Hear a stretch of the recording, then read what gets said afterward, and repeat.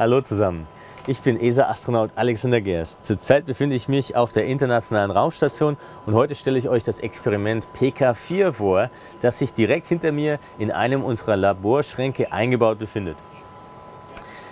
Es ist das neueste Experiment in einer Serie von erfolgreichen Plasmakristallexperimenten hier auf der Raumstation. Neben fest, flüssig und gasförmig kann Materie in einem vierten Aggregatzustand vorkommen, als Plasma. So etwas findet man im Alltag zum Beispiel in Neonröhren oder in Kerzenflammen.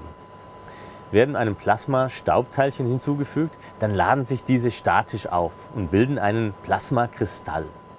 Durch die Schwerelosigkeit hier auf der Raumstation lassen sich sehr viel komplexere Kristalle bilden als auf der Erde. Mit Hilfe einer speziellen Videokamera wird die Kristallbildung aufgezeichnet und danach am Boden von Wissenschaftlern analysiert. Die aktuellen Tests sollen die Bildung von Teilchenketten sowie die Mischung verschiedener Teilchen in Plasmakristallen untersuchen. Die Erkenntnisse darüber können dann auf grundlegende physikalische Vorgänge übertragen werden, wie zum Beispiel auf das Schmelzen von Kristallen oder auf das Verdampfen von Flüssigkeiten. Viele Grüße und bis zum nächsten Mal.